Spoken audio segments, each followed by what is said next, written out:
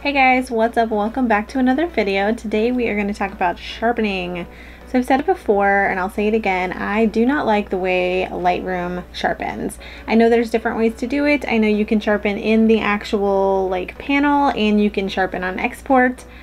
I don't like it. I've never liked the way that my photos turn out once I've export from Lightroom. I also always put my photos through Photoshop anyways, just because that's how I finish and kind of polish off my photos.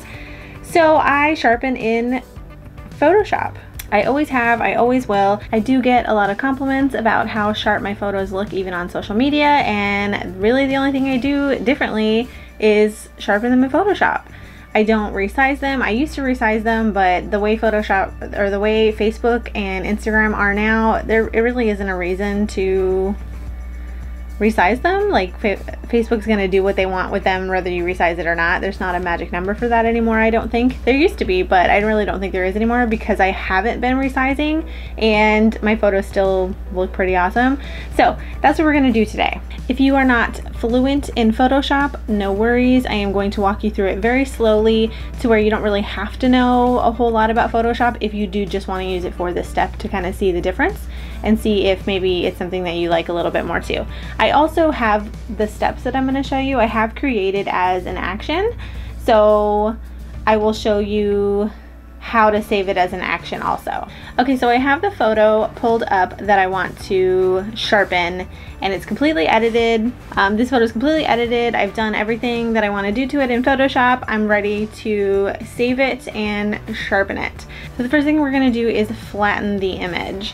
So we are going to go up here to layer and all the way down to the bottom and we're going to flatten the image. So that's done. You can see now that we have everything compiled. It's a complete photo. So now what we're going to do is we're going to create a duplicate copy of this background layer. And you can do that by grabbing the layer and pulling it down and dropping it onto the plus sign. Just like that and it becomes a background copy. So with that background copy, we are going to go up to filter, other, and we are going to do high pass. We're going to turn that into a high pass layer.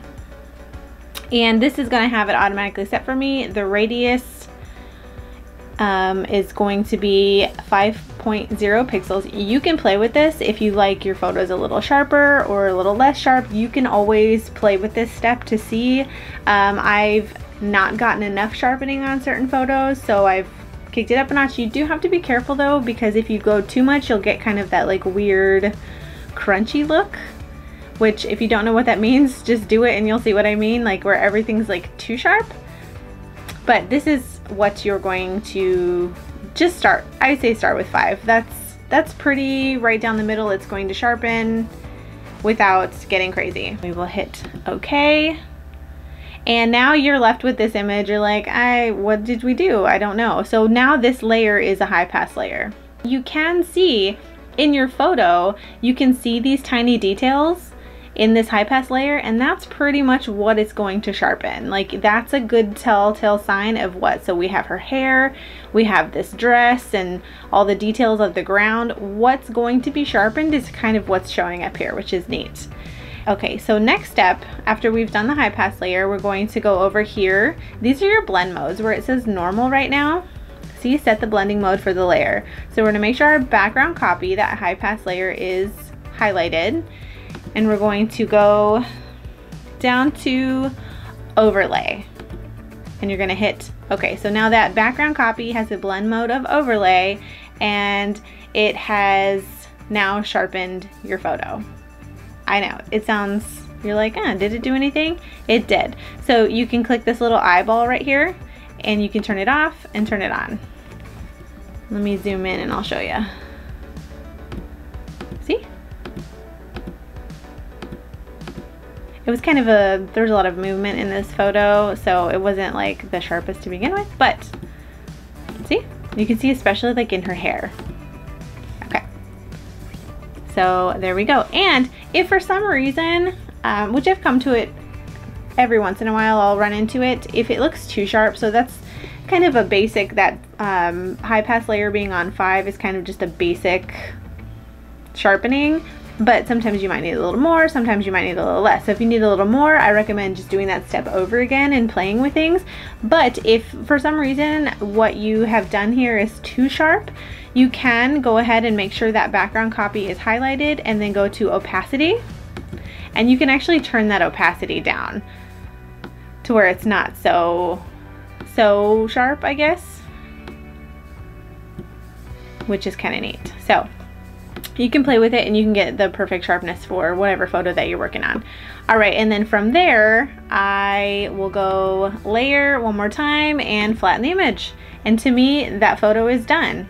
Okay, so now I'm going to show you, especially if you're not a Photoshop user, very frequently, I'm gonna show you how to turn what we just did into its own action. So like I have it set up on there, so when all of my layers are open, when I'm done with the photo, I click flatten and sharpen and it does it for me and it's done. So I don't have to mess with really any of those steps unless I want to go back and mess with them, but I don't have to. I just, one button, one click, and my photo is complete. So we're gonna do the same thing that we did, but you're going to come over to, you're gonna hit this little, it looks like a, under in your actions tab, it looks like this little file folder thingy and you can create a new set and then you can put it in a set or you can just do this and you hit the little plus sign and create a new action. So I'll do that. And it's going to have a little pop-up and you can name it. Let's go YT sharpen just for I already have one so I'll delete this later but I know what this one is and then you hit record and the moment that you hit record everything you're doing is recording into this action. Okay, so I opened up some, I just opened up some layers really quick because you want to do all these steps. You want to start by flattening and then you want to go into all the other steps. So I had to just, I didn't do anything with those layers. I just made some layers so we have something to flatten. So the first step is to layer, flatten the image, and then we are going to drag this down and create a background layer. And as you see, it's recording exactly what you're doing on each one of these.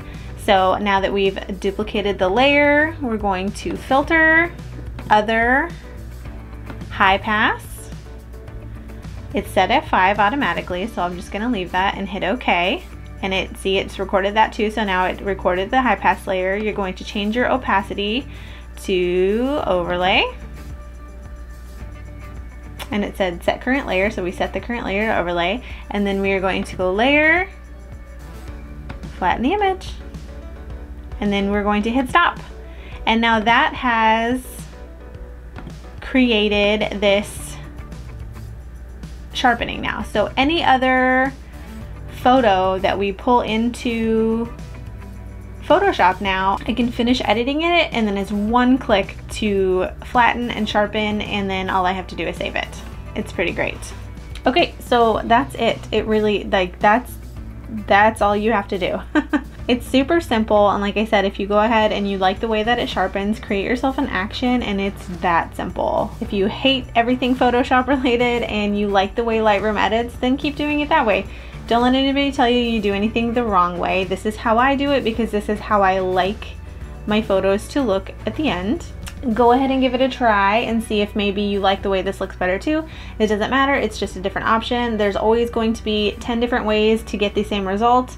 This is the way I like to do it. If you have any other questions about this or comments, concerns, whatever, just leave them in the comments. That's all I have for today and I will see you next time. Bye!